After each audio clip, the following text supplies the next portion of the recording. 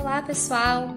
Na nossa última aula, a gente fez essa etapa aqui da nossa colagem, que foi colar as casinhas, fazer as janelinhas, ou seja, fazer o pano de fundo, o cenário da nossa personagem que vai entrar aqui hoje na segunda etapa da nossa colagem.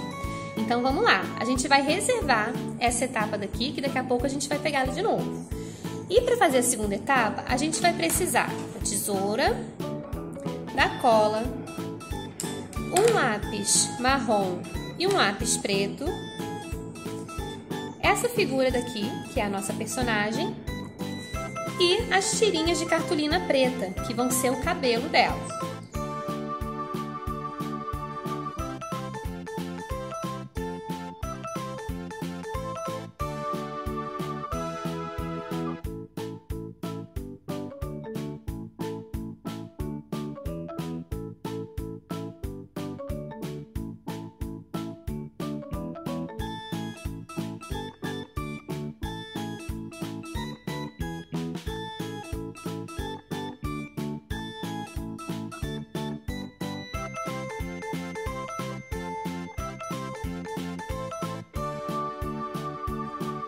Agora nós vamos fazer os cachinhos da nossa personagem.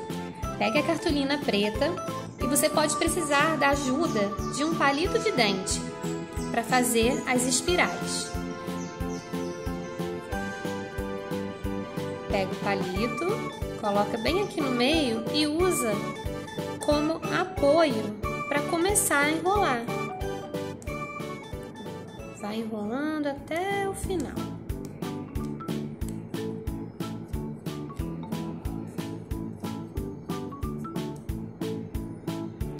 Tira o palito e o seu rolinho tá pronto.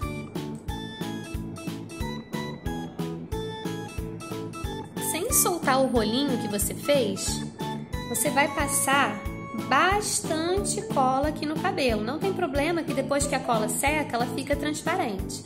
Mas tá vendo? É uma quantidade bem generosa que a gente passa para o rolinho fixar se a gente passa pouquinha cola, o rolinho ele solta e não faz o formato do cachinho que a gente quer.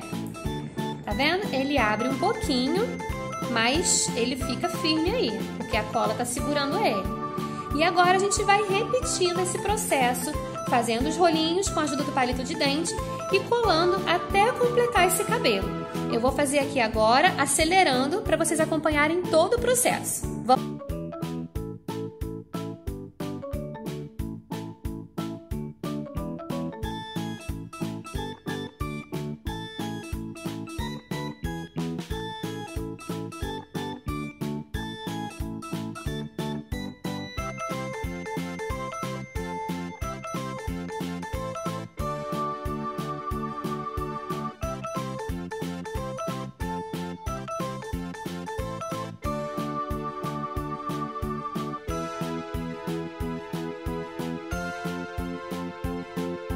Esse foi o resultado da nossa colagem.